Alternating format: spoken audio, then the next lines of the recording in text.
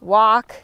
It should be like dancing, like you back up, like you see how he's following my body language. Good boy. Good boy.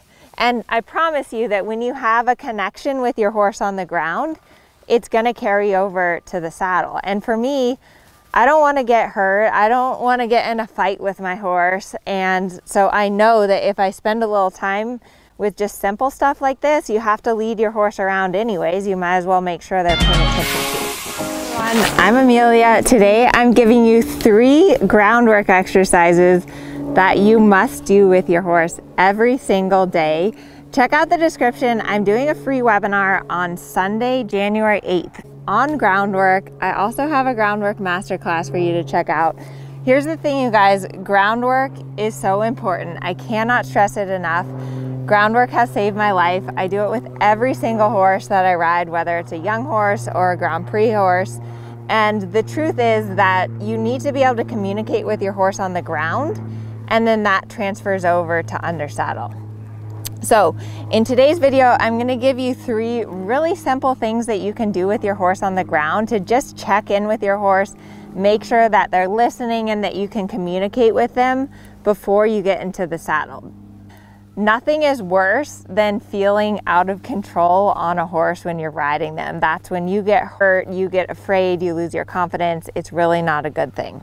So the first thing that I do with all of my horses every day, you can do this with a halter when you're leading your horse from their stall to the cross ties, is just some simple transitions on the ground, making sure that your horse is rating with you. So what I mean by that, and you'll be surprised how many horses don't do this? So you get your horse out of the stall and you're walking it to get ready for it to ride. When you walk, your horse should walk. When you stop, your horse should stop. If you back up, your horse should back up. If you walk, your horse should walk forward. If you stop, your horse should stop.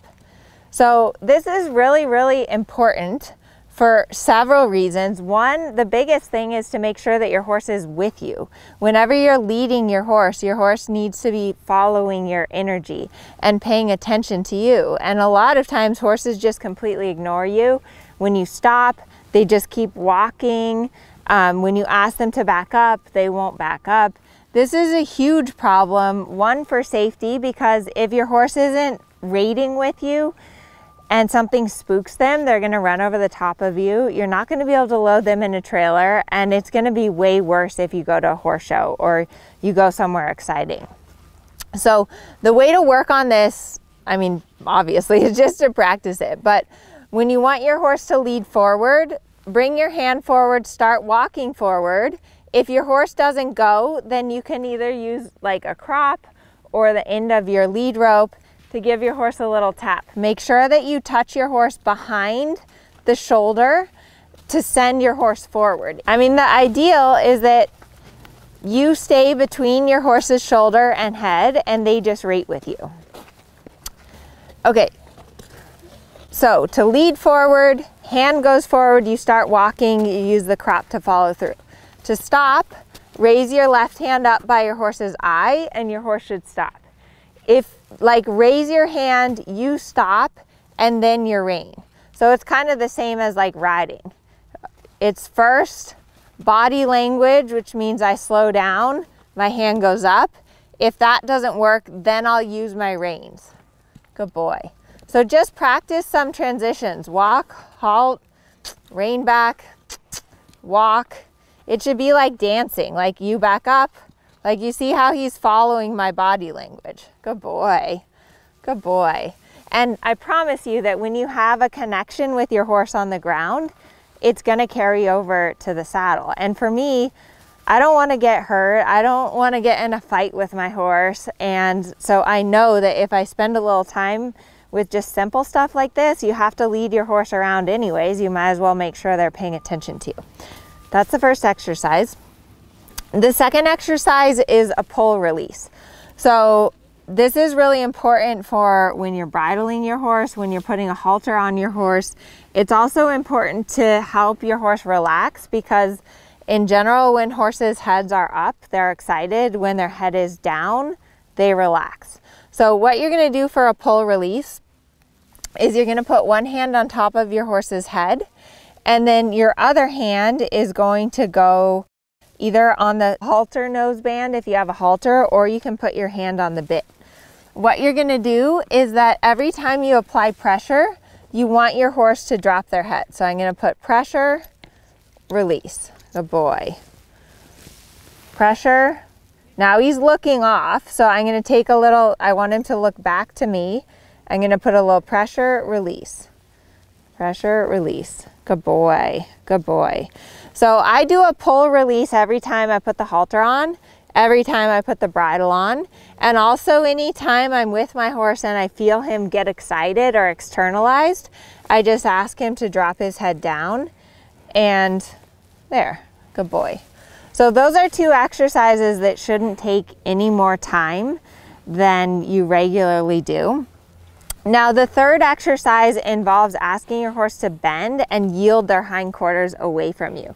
If you've taken any of my programs, I call this the inside rein connected to the inside hind leg. And this is such an important concept. I cover it a lot in my groundwork masterclass and really show you how to teach your horse this concept and how to develop it into something that you can really apply in your dressage riding. But the basic premise is that when you can control your horse's body, you can control their mind. And what it starts with is that whenever you're leading your horse or riding your horse and you take on the inside rein, you want to get that inside hind leg to move over. So I'm taking on my left rein and I want the left hind leg to move over like that. Good boy, good boy.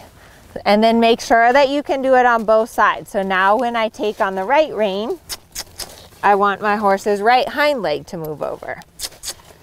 Good boy. If you haven't ever done this with your horse, it's going to be a little tricky at first.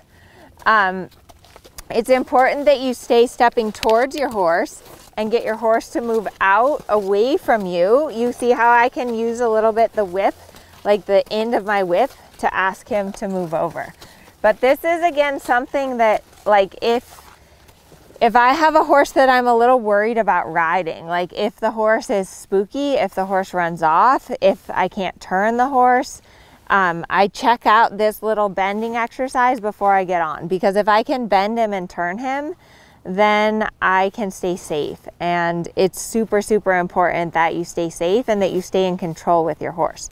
So the inside rein to inside hind leg and that bending is going to give you that control of your horse's body and of your horse's mind. So I hope this video has helped you guys do these three little things every day.